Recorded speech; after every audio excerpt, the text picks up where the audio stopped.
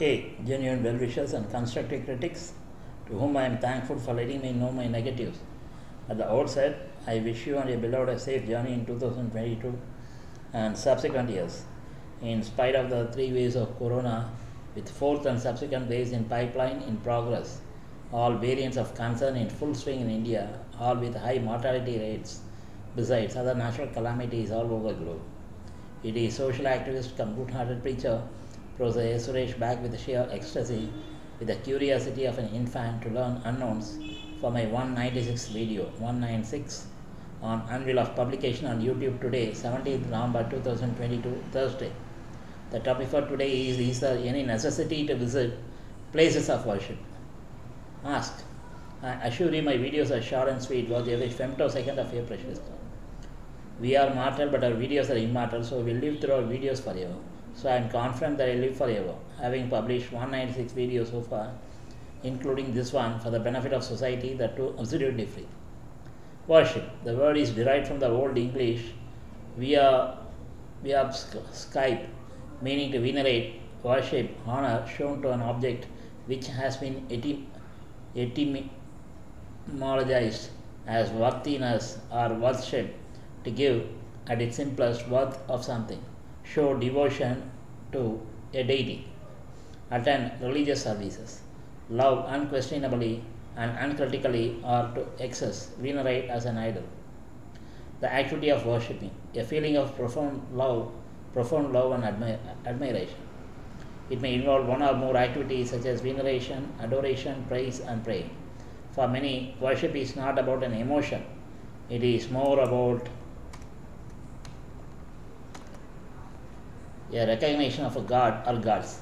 Contemporary worship uses contemporary worship music in an informal setting. Places of worship are places where there is a deity to worship. Basically, places where religious services are performed. For Hindus, temples. For Christians, churches. For Muslims, mosques. Idolatry. Idolatry is the worship of a cult image or you know the cult. Okay. cult image or idol as though it, were god practiced by hindus and christians. Muslims do not worship idols. Idolatry has been considered as a worship of false gods. In many hindu religions indian religions which include both theistic and non-theistic branches of hinduism buddhism and jainism idols murti are considered as symbolism for the absolute but not the absolute are icons of spiritual ideas or the embodiment of the divine. The opposition to the use of any icon or image to represent ideas of reverence or worship is called aniconism.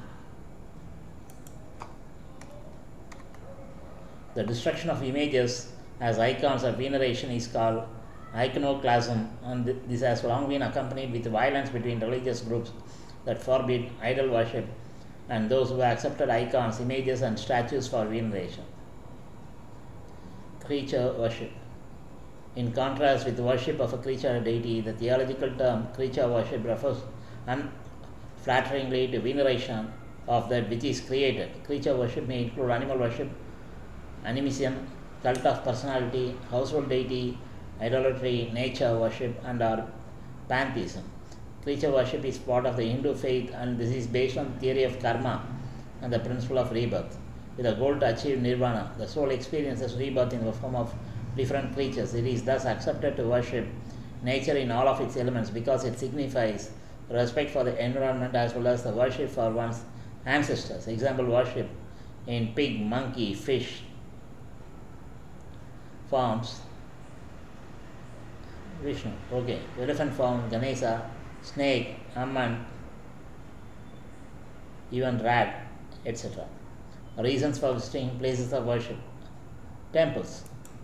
I am going to talk about temples mainly. The location and structure.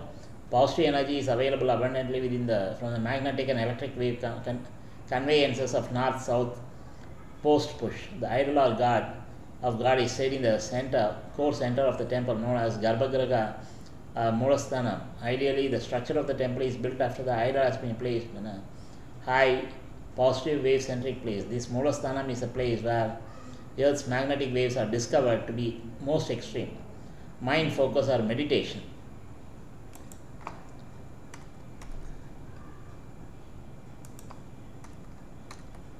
Five senses of human body are sight, hearing, touch, taste, and smell.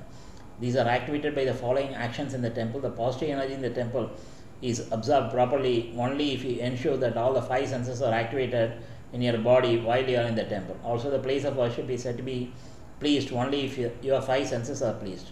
Ringing the temple bell when you enter the temple, hearing sound sense activated, lighting camphor in front of idol, sight sense activated, put your hands over the camphor flame and then touch eyes, touch sense activated, offering flowers to God at temple, smell sense is activated, drinking tirtham, taste sense is activated. Sometimes they even bring the uh,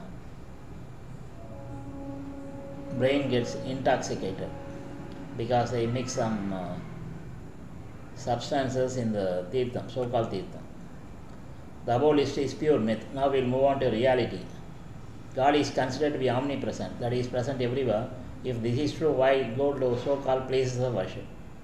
There is a God within all of us and which can be worshipped anywhere, anytime.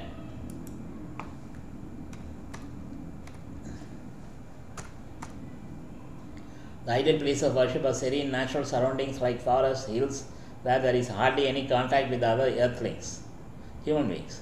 Places of worship are really a meeting place for elders, a place for business inside the premises or outside, a place for performing marriage ceremonies, a place for deciding a match for adults matchmaking, a place for free food, a place for beggars to beg for alms, a place for seduction of the innocent, a place for so-called priests to loot money in all ways, a place where invaluable antiques are stored, a place for kings to escape from enemies when they are defeated in wars. There will be tunnels linking the palace to the temples and from temples to faraway places.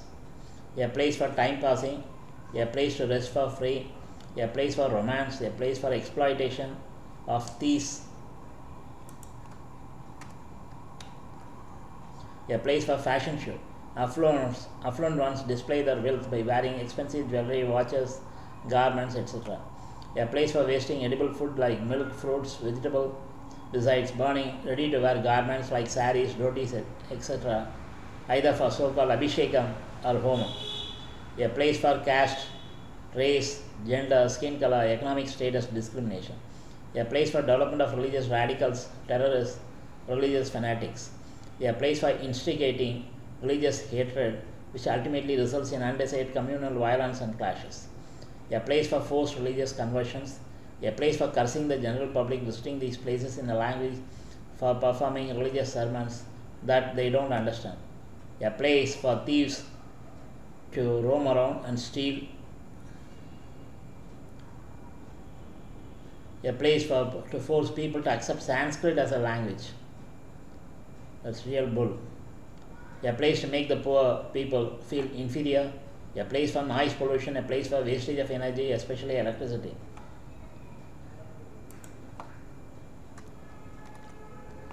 As you are aware, this list is certainly not exhaustive. One can worship anywhere, anytime, and no necessity to go to a designated place to worship to lose your peace, hard earned money, invaluable time, precious possessions like expensive jewelry. So I advise people to stay at home and worship the Supreme One for free for any amount of time they desire to in absolute harmony with the, with the One, that is God. Debates, discussion on open-ended topics like this can go on forever. Anyway, let me pull the plug here. We'll meet again real soon with another interesting topic. Some of the statements, views expressed are solely mine based on limited knowledge gained over six decades of versatile experience. Always watch these videos with closed caption subtitles for absolute 100% comprehension as per my sincere recommendation zillion times so far.